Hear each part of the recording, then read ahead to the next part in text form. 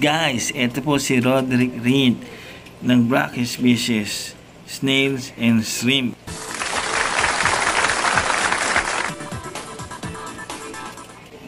Kumakain po sila ng ngayon po ang topic Dry- natin ay sa mudskipper. Ito po nakikita yung video po. ay kumakain po siya ng tubipex worm na dried. Pero kumakain din po sila ng dried shrimp, ng maliliit na isda, at ng PO1 o prawn feeds number 1.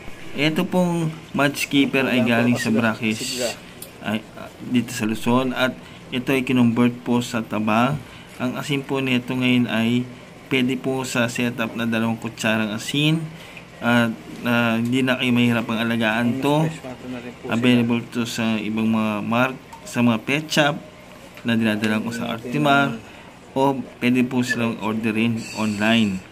Ito pong matchkeeper ay humihinga sila sa ibabaw ng lupa at tumatalon, naglalakad, sumasayo na habang nag, nag-aaway-aaway sila mga parehong male.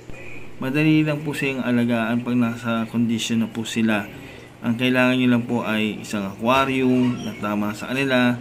Kailangan nyo ng kahoy o bato o mga halaman na pang setup. Ang style po dito ay ang paludarium na kalahati lang ang tubig tapos may malinis na tubig, malinis na tubig na may filter, may air pump. Yun po sapat na po sa ano na yun. Tapos kung gusto nyo lagyan kahit dalawang kutsarang asin. Po ay na, na-experience ko po. Naranasan ko nung matagal kung paano sila alagaan. Ito po ibinabahagi ko sa inyo. Nagbabasa rin po ako ng tungkol dito bago ko ginawa ito Bago ko envision to ay medyo matagal po bago naging tabang siya. Siguro mga dalawang linggo para maging mas okay siya. Kasi pag hindi siya kondisyon, makikita niyo po siya na hindi kumakain, matamlay. Yung po yun na ibig sabihin hindi pa siya tabang o ano. Kailangan i-adagdagin siya na asin. Ito po ay naglalakad gamit po ang kanilang mga palikpik sa kanilang katawan nakita nyo, yun yung puwersa na tumatalon sila, nagpupropel para tumalon, uh, lumakad. Tapos, nag stay sila sa ibabaw ng lupa. Pagka medyo natutuyo na yung balat nila, hindi na nagmumoist, makita nyo sa, sa bibig kasi na ano yung, ano nila, yung air sa ano. Pag nagmumoist sa balat nila, yun, maramdaman, maramdaman nila kung kailangan nilang bumalik na uli sa tubig, babalik na po sila doon kung aalagaan sila, kailangan po ay may tungtungan kung wala yung setup. Kasi po, malulunod sila sa malalim. Eh, kailangan may datapuan po sila. Yun po yung proper na pag-aalaga sa, sa kanila. Kung sakaling hindi nyo masundan ng kanilang habitat sa wild, yun po yun. Maganda pong alagaan tong mudskipper kasi friendly po sila. May enjoy nyo po to.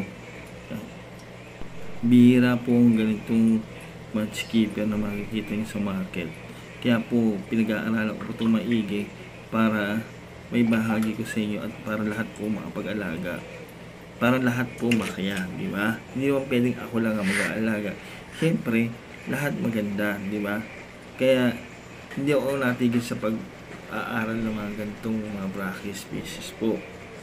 Kasi siyempre, ang, ang ibang nag-aalaga po, nagsasawa na sa mga ordinaryong isda. Naghahanap sila ng mga kakaiba. Katulad nyo mo yung nakikita sila sa alat na hindi nila maalagaan.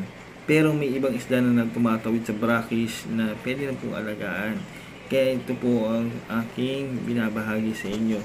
Kung kayo po ay magsasubscribe sa akin, masaya po yun. At kasi makikita nyo po lahat ng mga video at gagawin ko ibang video.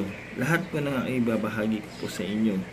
Yun po ang magandang may ano ko sa inyo. May ko contribute po. Mga sambayan ng Pilipino, uh, aking mga kaisdaan, at mga kaibigan. Ito po ay local version ng mga nagaan sa pag ah, sa mga mudskipper na mga nakikita niyo sa ibang YouTube. Ito at least ay Pinoy version na yung may experience natin sa Pilipinas. Basta, ang may papayo ko lang sa inyo, sundin nyo lang po yung proper way na paano set up ng aquarium, yung kanyang habitat.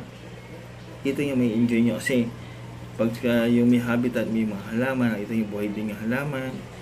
Tapos yung may parang waterfall style, ah, syempre maganda po yun mga, ka- mga kaibigan. Yun. Thanks for watching po mga kaibigan.